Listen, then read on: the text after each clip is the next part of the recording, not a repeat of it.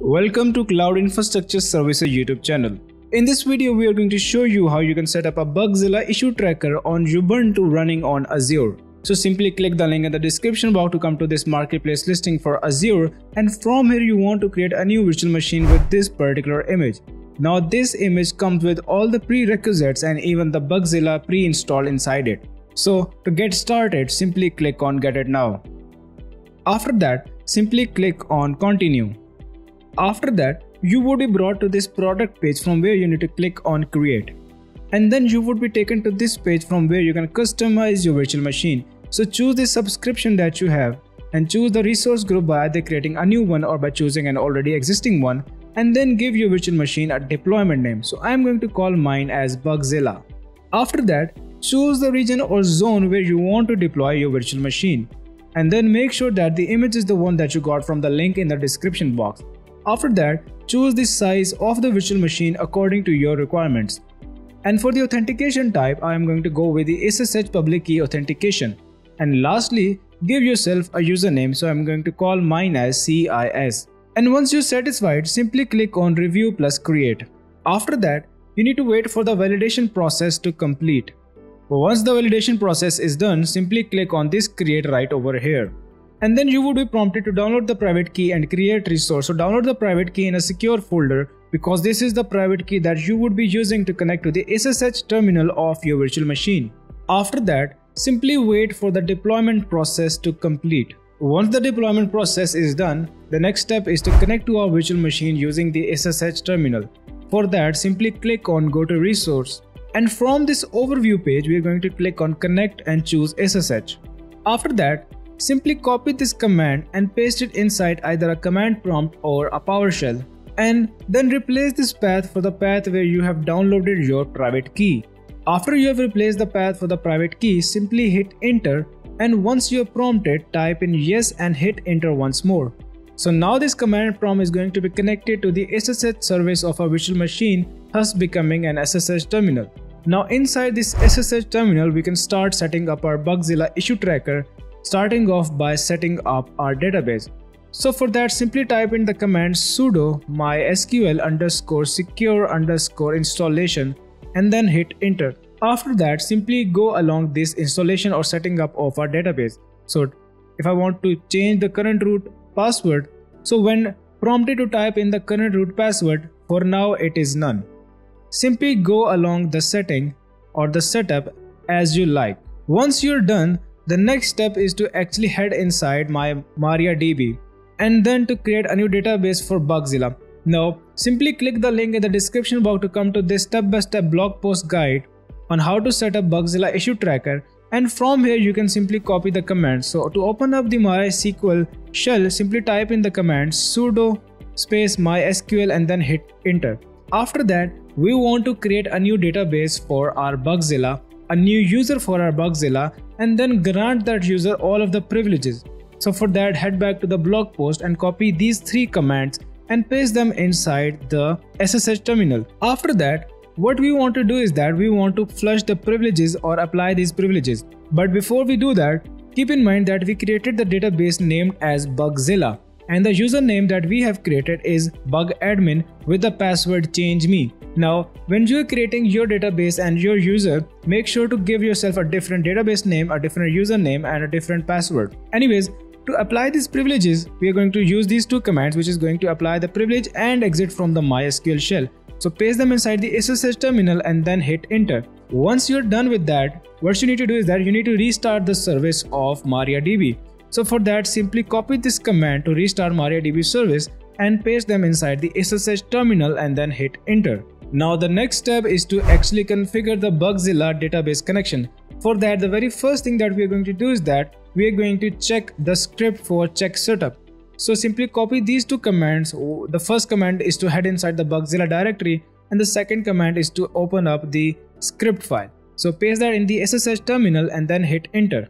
Now you would see that it is going to run that script and look for some kind of error. Now once the script is done, you get that there are some things missing. So To complete the connection, we need to open up the local configuration files. For that, head back to the blog post and copy this command and paste that command in the SSH terminal to open up that configuration file. Now within this configuration file, we are going to change some of the tags over here. First of all, if you're running a Red Hat Linux, then you use this web server group as Apache. But in our case, we are running Ubuntu, therefore we type in the web server group as www, then a hyphen followed up by data. And then we go down. Now the DB driver is going to be MySQL, the DB host is going to be localhost, but the DB name as we know that we gave was Bugzilla. So simply copy this Bugzilla from here or type that in the SSH terminal in front of the DB name. After that, you need to provide the username for the user or admin user that you created for that database which was bug admin. So simply copy that and paste that in front of db underscore user. After that, go down in this file and provide the password that you have given for that user which in my case is change me. After that, you don't have to do this but if you have given a different port for your database then provide that port over here. Once you're done, simply hit Ctrl O and then enter to save the file and Ctrl X to exit from this file. Once that is done, we need to run the check setup script once more. For that, head back to the blog post, copy this command and paste it inside our SSH terminal. After that, it is going to create database, create tables and run a little more stuff. So be patient and wait for the processing to complete. Once the processing is done, it is going to prompt you to provide the email address of the administrator. So I'm going to type it as test at test.com, but make sure to provide a valid email address. After that, you provide the information for the test admin. Once that is done, you can move on to the next step, which is to set up a Apache configuration file. For that, head back to the blog post, copy this command and paste it inside the SSH terminal. This is going to create the Bugzilla configuration file and open that up. Now in this configuration file, you want to paste in some of the commands which you can get from the blog post. So copy these commands and paste them inside the SSH terminal or in the Bugzilla configuration file, but make sure to change the server name. So if you have a domain, you're going to type that domain in front of this server name tag. But if you do not have a domain and you're just running the virtual machine, in that case, you're going to paste in the IP address of your virtual machine. Now to get back the IP address of your virtual machine, simply head back to Microsoft Azure and from here simply click on Overview.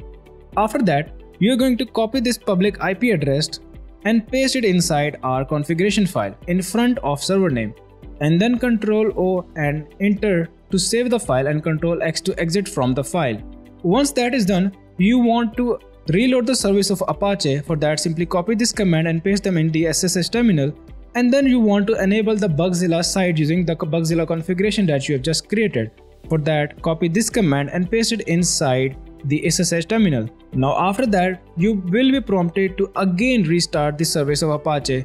So simply hit the up arrow two times and run the system ctl reload apache 2 command once more. Once that is done, you need to enable all of the modules required for Bugzilla. For that, simply copy this command and paste them in the SSH terminal and after that, run the sudo systemctl reload apache 2 command once more.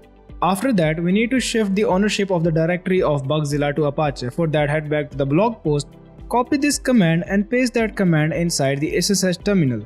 After that, what we want to do is that we want to finish setting up our Apache. Before that, we need to check the syntax. So simply head back to the blog post, copy this command and paste it inside our SSH terminal and then hit enter. So it says that the syntax is okay. Now we can end off the setting up of our Apache by simply restarting the service of Apache 2 and you're done. Now we can finally test out the installation of Bugzilla. For that, the very first thing that we're going to do is that we are going to shift our user to the root user. So type in the command sudo space hyphen i and then hit enter. After that, we want to head inside the directory of Bugzilla. For that, copy this cd command and paste it inside the SSH terminal. And then we are going to run the test server script. So for that, simply copy this command, paste it in the SSH terminal and what you can do is that you need to provide the IP address or the domain that you did for the configuration file for Apache. So I use the IP address of my virtual machine. So that is why I'm going to remove this URL and change this HTTPS to HTTP and then head back to my Microsoft Azure, copy the IP address once more, paste it in the SSH terminal and end it off by a forward slash and then I simply need to hit enter. So you would get something like this that the web server is running okay, test okay, okay and okay. So now you have basically set up Bugzilla properly. If you want to head over to the web interface, then what you can do is that you can open up a new tab, type in the IP address of your virtual machine and then hit enter. And you would be able to access the web interface for your Bugzilla installation.